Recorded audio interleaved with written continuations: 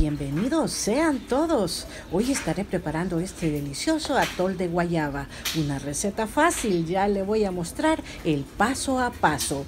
En este momento prendo el fuego de la cocina a medio. Agrego tres tazas de leche que puede ser la que más le guste a usted.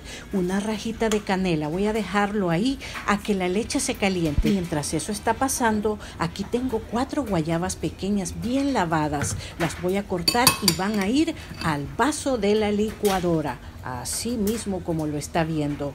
Voy a agregar un poco de azúcar. El azúcar es opcional y usted le puede agregar al gusto. También voy a agregar tres cucharadas de estas cucharas de las cuales se ocupan para tomar sopa. Son tres cucharadas de maicena el total que voy a agregar y luego estaré agregando una pizca de sal todo estos son los ingredientes secos y ahora voy a agregar la última taza de leche. Recuerda que hemos dejado tres en la cocina y esta última, una taza de leche. Van a ser cuatro tazas por completo. Ya estoy lista para llevar todos estos ingredientes a que se licúen muy bien por unos cuantos minutos. Esta mezcla tiene que quedar muy finita, así es que dele bastante tiempo hasta que ya la vea bien delgadita. Luego me voy a ver la leche que dejé en la cocina, ya está bien caliente, usted puede ver todas las burbujitas alrededor. Entonces en este momento lo que voy a hacer es retirarle la rajita de canela y me voy a ir a buscar el colador donde lo dejé. Vamos a ver, aquí tengo el colador.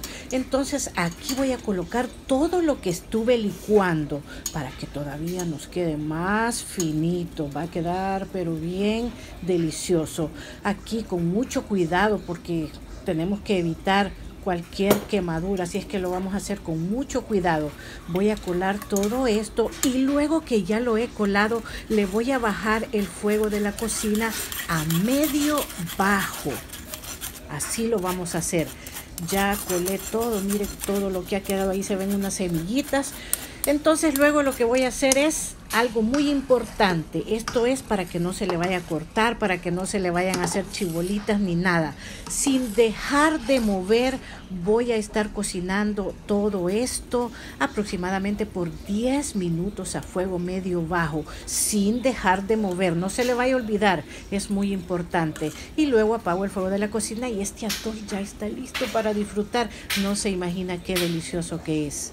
Espero me haya comprendido el paso a paso de la receta. Muchísimas gracias por ver mis videos. Si usted no se ha suscrito, ¿qué está esperando? Mire, toque el botoncito donde dice suscribirse y también toque la campanita. Que Dios lo bendiga a usted y por supuesto a toda su familia. Si Dios quiere, pronto vengo con otro video. Mientras tanto, adiós por ahora.